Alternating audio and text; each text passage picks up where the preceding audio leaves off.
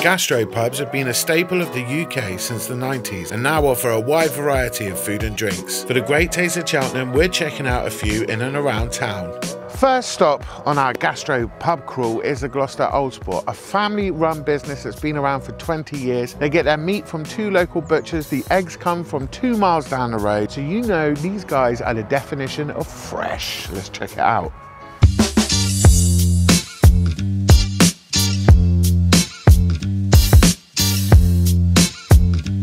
Well, I think the building dates from about 1720. It's gone through reincarnations over the year, but it's always stayed true to its heritage, which is a country pub that welcomes a broad cross-section of the community and visitors to Gloucestershire and Cheltenham. And so we can get workmen who've come in working off the fields all day and have a pint of cider, and yet people who come in and have a really nice, properly made uh, meal experience. And all of those people interacting, for me, is what an English pub really is.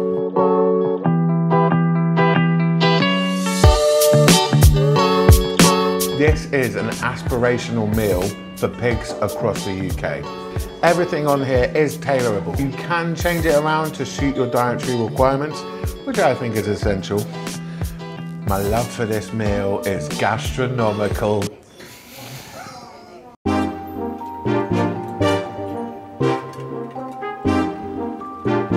Next on our gastro tour of Cheltenham is the Tavern, known as the friendliest pub in Cheltenham, but we don't care about that. We're here for the food. Let's do it.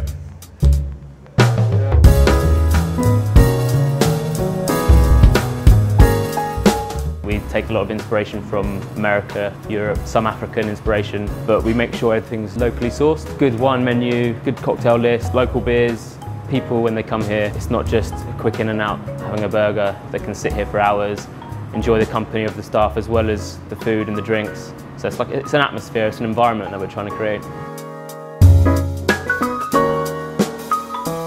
I really want to try this one. Buttermilk chicken breast with Frank's hot sauce and blue cheese dressing.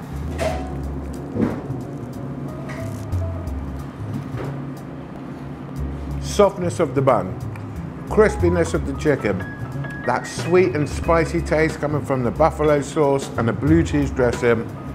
That is a burger designed for the burger connoisseur. The tavern has so many great dishes on the menu that will cater for everybody's desires. We've only skinned the surface. So your best bet is to come in and try everything on there. I'm gonna eat a little bit of this and then get ready for our next gastro pub. Mama.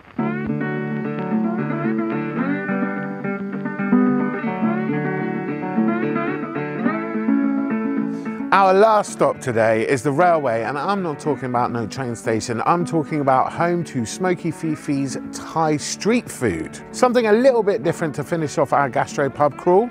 I'm excited, I hope you are. Let's do it.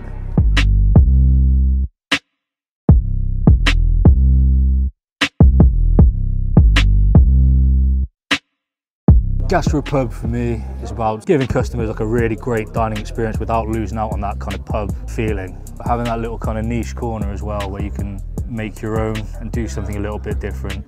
Which is one of the things I love about Cheltenham. There's so many cool little independent like bars that are doing great drinks but also doing great food that you wouldn't necessarily expect to find in pubs. And I think we managed to do that really well here.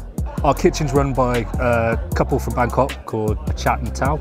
Whilst we do have that sort of traditional Thai restaurant vibe, we also put the barbecue spin on it. And yeah, I think that's really like our niche in terms of the food is just uh, we do Thai food, but we do it with that twist and we do it really, really well.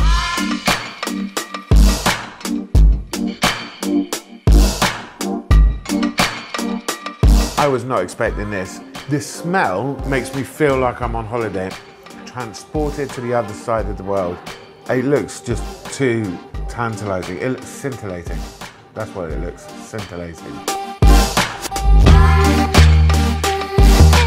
As we tuck into this smorgasbord of delicacies and flavours, I'd like to take a moment to thank Marketing Cheltenham and Cheltenham Bid for inviting us, the Taste Plug, along to the great taste of Cheltenham. It has been great and very tasty, and until next time, see you soon.